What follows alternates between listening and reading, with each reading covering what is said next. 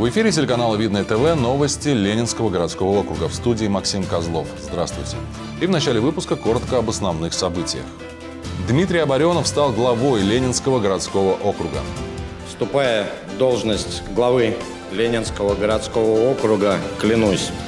Про ЖКХ – обучающий проект для тех, кто хочет пополнить знания в сфере жилищно-коммунального хозяйства.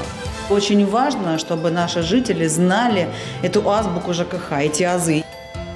В общественной приемной партии «Единая Россия» прошел очередной прием жителей округа. Сегодня у нас прием тематический. Мы принимаем людей пожилого возраста по социальным вопросам. Дмитрий Оборенов вступил в должность главы Ленинского городского округа. Торжественная церемония вступления в должность прошла во Дворце культуры «Видное». На ней присутствовали члены правительства Московской области, депутаты Московской областной думы и Совета депутатов Ленинского округа, заместители главы администрации, руководители окружных служб и общественники. Дмитрий Оборенов зачитал торжественную присягу.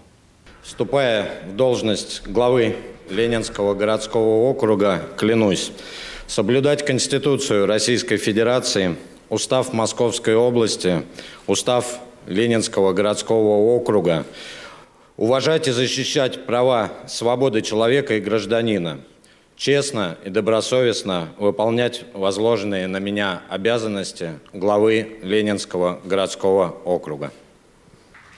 Подробный репортаж об этом событии смотрите в завтрашнем выпуске новостей. В Видном прошло 29-е очередное заседание Совета депутатов Ленинского городского округа. На повестке дня отчет главы муниципалитета Дмитрия Оборенова о деятельности администрации за 2020 год, планы на будущее, а также ряд вопросов, касающихся сельских населенных пунктов и придомовых территорий многоквартирных домов. 29-е очередное заседание Совета депутатов муниципалитета в режиме ВКС началось с обсуждения отчета о проделанной администрации Ленинского городского округа работе в 2020 году. Дмитрий Оборенов также отметил наиболее проблемные вопросы, по которым будет вестись работа в самое ближайшее время.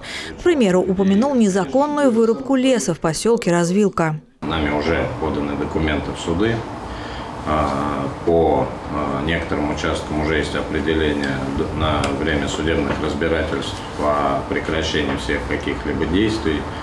А, соответственно, то, что мы там не допустим никакой торговли, это совершенно точно. Затем депутаты рассказали о наиболее проблемных точках на территории своих избирательных округов и попросили содействия главы муниципалитета в скорейшем решении вопросов. Есть площадок детских не переданы ни в управляющую компанию, потому что ну, физически не могут э, относиться к ним. А, и дороги точно так же просто висят там на застройщике. То есть мы не сервис не можем э, пригласить. А, застройщик, ну, скажем так, мягко говоря, спустя рукава обслуживает эти территории. У нас происходит сейчас массовая вырубка деревьев Кутового парка, дом 21.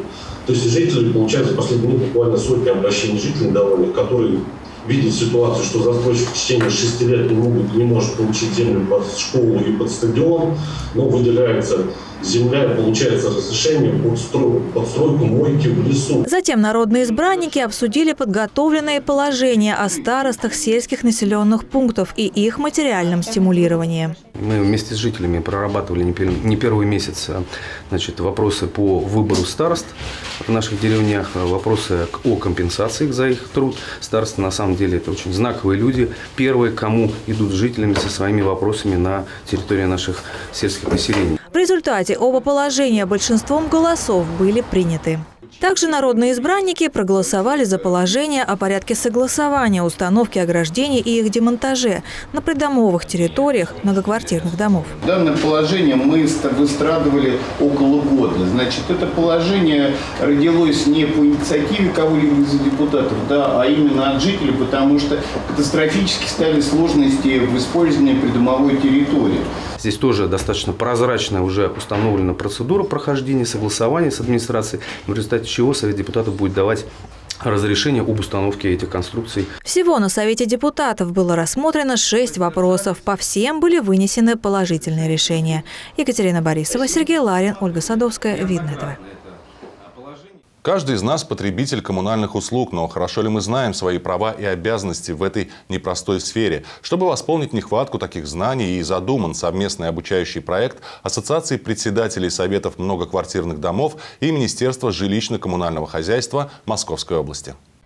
Каждый из нас – потребитель коммунальных услуг, но хорошо ли мы знаем свои права и обязанности в этой непростой сфере? Чтобы восполнить нехватку таких знаний и задуман совместный обучающий проект Ассоциации председателей Советов многоквартирных домов и Министерства жилищно-коммунального хозяйства Московской области. Очень важно, чтобы наши жители знали эту азбуку ЖКХ, эти азы, и не только азы, но в том числе и нюансы. Потому что только так мы понимаем свои права и, что немаловажно, но и обязанности.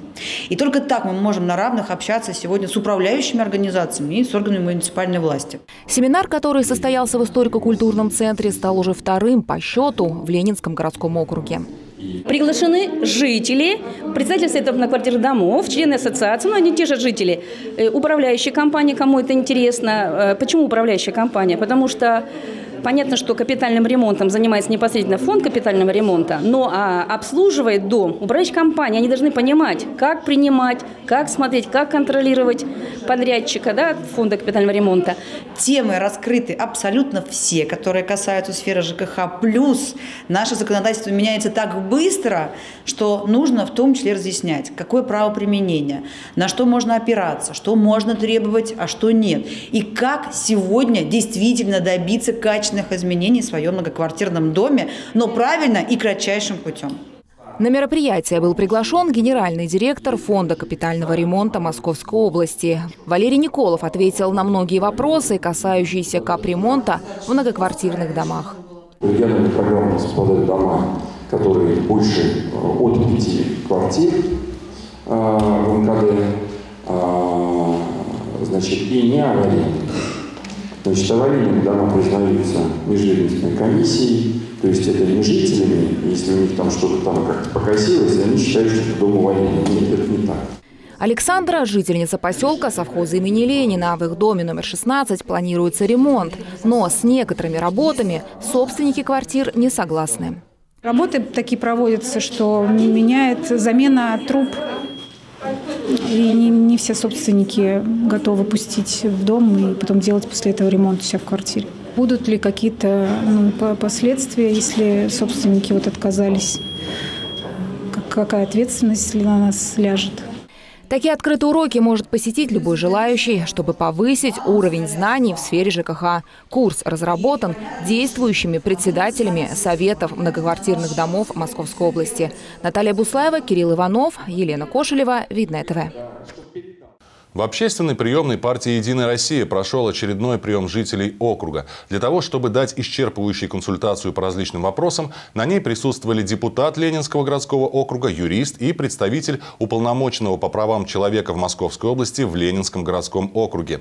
Встречи с жителями в общественной приемной партии «Единая Россия» проходят еженедельно. На прием приходят жители Ленинского городского округа с вопросами, касающимися самых различных сфер. Кого-то удается проконсультировать уже в ходе встречи некоторые проблемы требуют обращения в службы или организации муниципалитета. Сегодня у нас прием тематический. Мы принимаем людей пожилого возраста по социальным вопросам.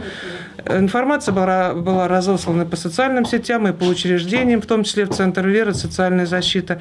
И пришли сегодня к нам э, пенсионеры со своими вопросами. У каждого свое, какие-то личные дела, общественные и прочее. Мы постараемся решить. Чтобы дать людям максимально полные консультации, на встрече присутствовали заместитель председателя Совета депутатов Ленинского городского округа Ирина Архангельская, представитель уполномоченного по правам человека в Московской области в Ленинском городском округе Олег Мурашов и юрист Вячеслав Краснонос. В прошлом году была тяжелая ситуация, соответственно, приемы были в режиме онлайн. Э, в режиме ВКС. Теперь немножко стало полегче, люди уже приходят сами. В этот раз на прием записались 10 посетителей. За год же в общественную приемную приходит более 300 человек. Активисты федерального проекта «Народный контроль» партии «Единая Россия» проинспектировали работу общественного транспорта в городе Видное. Рейд был организован по многочисленным жалобам жителей, которые утверждают, что многие водители автобусов отказываются принимать банковские карты при оплате проезда.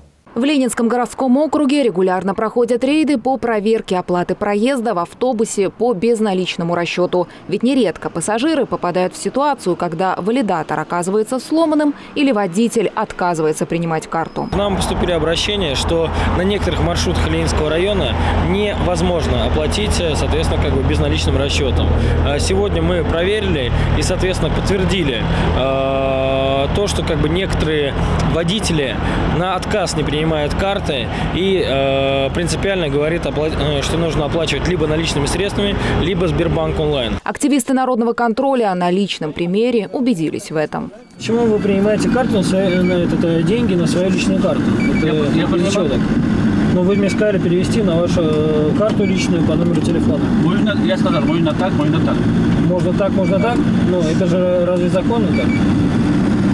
Видим, что сейчас э, мы попытались э, проехать на этом маршруте вот, и, соответственно, оплатить банковской картой.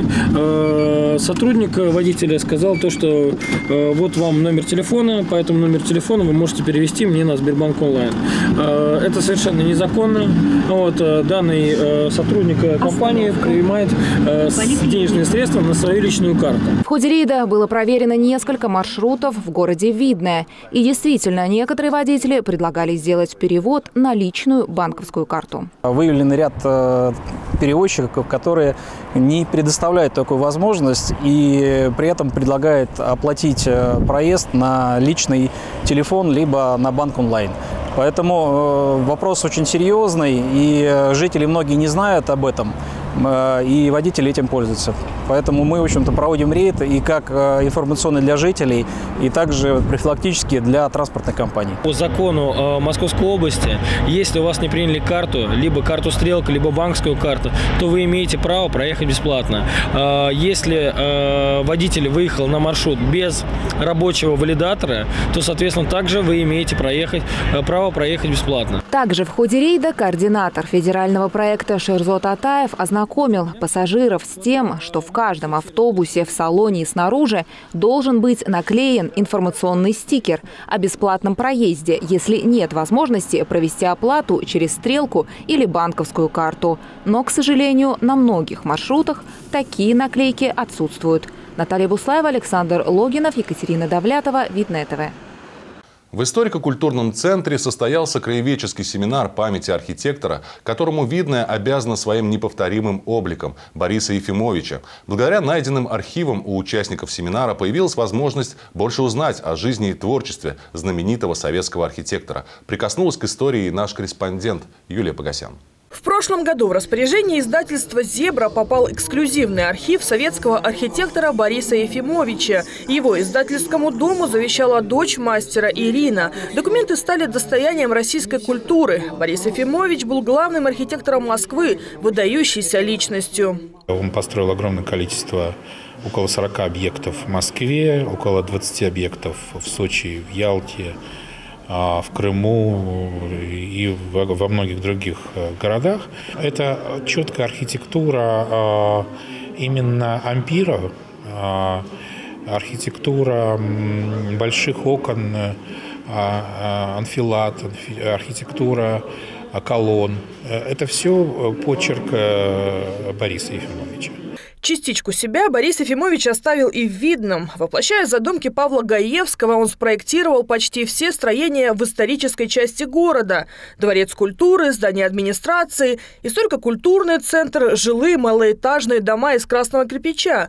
Неповторимый облик Видного – его заслуга. Обнародование архива Ефимовича для краеведов Ленинского городского округа – знаковый момент. У них появилась возможность больше узнать о жизни и творчестве человека, который сделал город визитной карточкой всего муниципалитета. Безумно благодарны нашему архитектору Борису Ефимовичу за ту красоту, которую он подарил нашему городу и конкретно нам. В ходе семинара памяти архитектора Бориса Ефимовича, у хранителя архива Игоря Смолина и заслуженного работника печати Московской области Алексея Плотникова родилась идея написать книгу о жизни и творчестве Бориса Васильевича. Именно он, можно сказать, основатель э, города, потому что после войны именно э, он разрабатывал основной проект и э, города Сада. И этот э, город-сад осуществился. В книге памяти Бориса Ефимовича будет рассказываться не только про строительство города-сада, но и обо всех архитектурных сооружениях инженера. Приступить к работе краевед и писатель Алексей Плотников планирует в ближайшее время. Юлия Погосян, Сергей Ларин, Ольга Садовская. Видно этого. И это все новости на сегодня. С вами был Максим Козлов. До встречи.